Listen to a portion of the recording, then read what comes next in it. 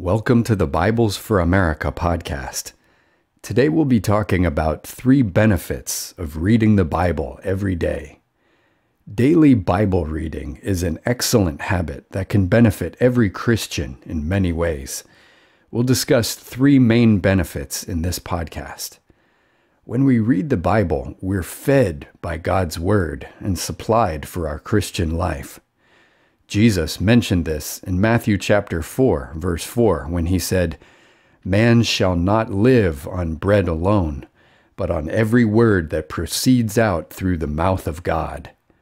Other verses in the Bible also make it clear that God's word is nourishment to us.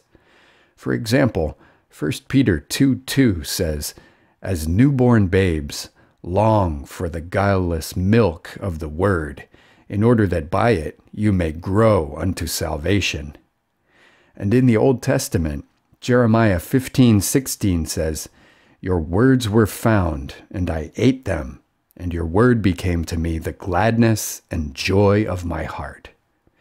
When we eat physical food, we're supplied with the nutrients we need to live and be healthy. We get the energy to go to work, exercise, and spend time with family and friends. Conversely, when we skip a meal, we feel weak, tired, and even grumpy. And if we keep missing meals, we become susceptible to even greater problems, like illness. Similarly, when we eat spiritual food, we're supplied to live our Christian life. But when we're away from God's Word for a while, we can become spiritually weak, tired, and grumpy, or unable to handle difficulties well we become more susceptible to temptation, doubts, and other kinds of spiritual sickness. We simply don't have the means to cope with the many challenges that come into our lives as believers. It's very important, therefore, that we're supplied by reading and feeding on God's Word every day. To maintain a healthy and even joyful Christian life, we need daily Bible reading to receive the spiritual nourishment in God's Word for us. What if we don't understand what we're reading? We may wonder whether we should keep reading the Bible. Or maybe we're discouraged because by the afternoon we've forgotten what we read in the morning. Should we keep on reading even when we don't remember much? The answer is yes, definitely. This is because a great benefit of reading God's Word is that it washes us. Ephesians chapter 5 verse 26 says that he might sanctify her, cleansing her by the washing of the water in the Word. Her, in this verse, refers to the church, which is composed of all the believers in Christ, and the washing of the water in the Word indicates something different from the washing of our sins by the Lord's blood. So, what is this washing? Here's what note 3 on this verse in the Recovery Version says about the washing of the water in the Word. The washing of the water here is different from the washing of the redeeming blood of Christ. The redeeming blood washes away our sins whereas the water of life washes away the blemishes of the natural life of our old man, such as the spot or wrinkle or any such things mentioned in verse 27. In separating and sanctifying the church, the Lord first washes away our sins with his blood, and then washes away our natural blemishes with his life.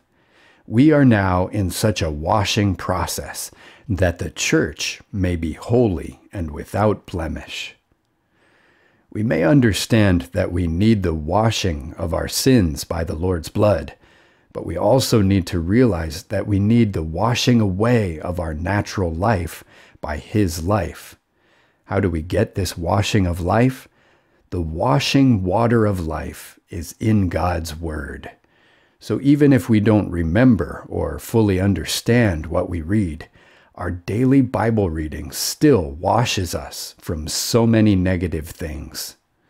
Finally, as Christians, our faith is based not on our imaginations or concepts, but on the Word of God. So it's critical that we all know what God's Word says. By reading the Word regularly, we'll eventually read through the entire Bible and gain a basic knowledge of God and the things of God. Gaining this basic knowledge is like learning our ABCs. If we don't learn the letters of the alphabet, it's impossible for us to read or write. To understand even the simplest book or write a letter, we first have to learn our ABCs. Knowing what's in the Bible is like knowing our spiritual ABCs.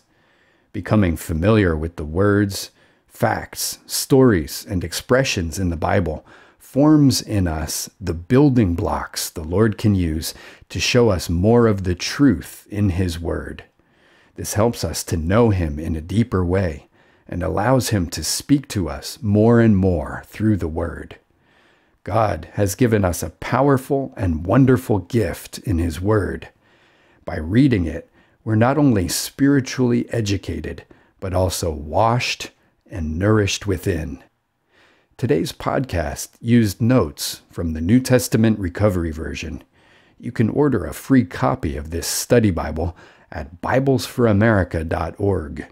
To listen to more podcasts, visit BiblesForAmerica.org and click on the Media tab, or subscribe to the Bibles for America podcast on iTunes. Thanks for joining us. Until next time, grace be with you.